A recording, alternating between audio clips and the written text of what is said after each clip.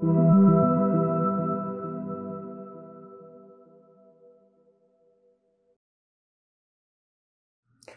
my name is Taylor Ham, and I'm a front-end engineer here at Dfinity. Today I'm going to walk you through the simple steps to deploying a static website on the Internet computer. Static websites are generally websites that every user who visits sees the same content. They're not interacting with APIs or databases much, and they typically are comprised of HTML and CSS with light JavaScript. I'll walk you through how to use our built-in asset canisters to easily deploy these.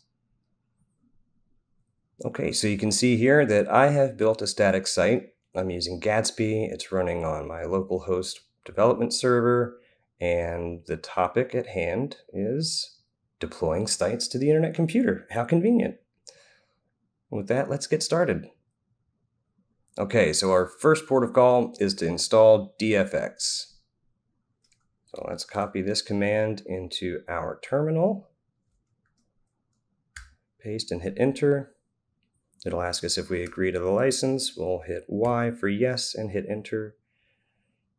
And after a few short moments, DFX will be installed. Now we'll move on to step two. Create a dfx.json file in the root folder of your project.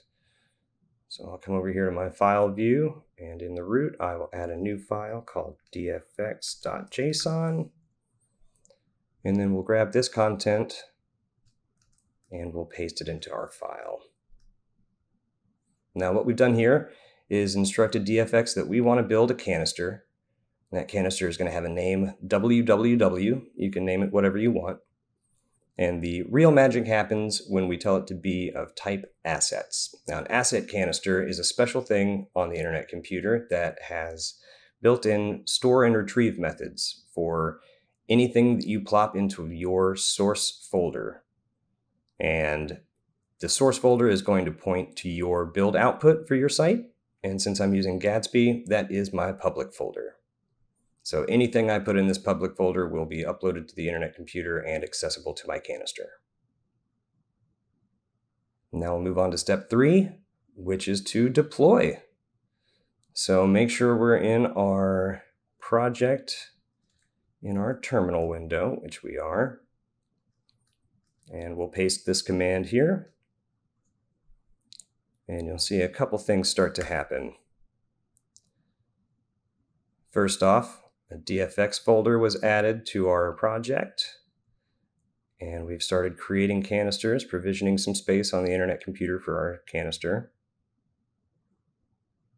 And we've just had a canister IDs.json file pop in because we've created a canister ID. And we actually need this for our next step. It says here we need to check the output and grab the ID on this line. So right here, we've got our canister ID. And we're going to copy this five segment alphanumeric code to our clipboard.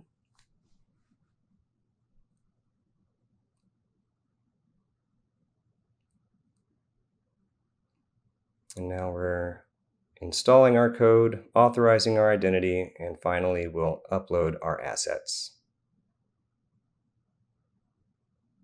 All right, so now that our canister has been deployed, we can move on to step four, and that is to visit our site. All right, let's open up a new tab, and let's paste in our canister ID from the last step and add .ic0.app and hit enter. And boom, there you go. Look at that. Our website is now live on the internet computer, just as it was locally. And now we can go to the final step, step five. Celebrate! Spread this link far and wide and brag to all of your friends about joining the decentralized internet revolution.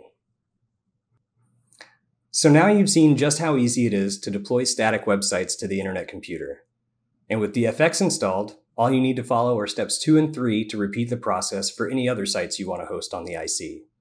Thanks for following along.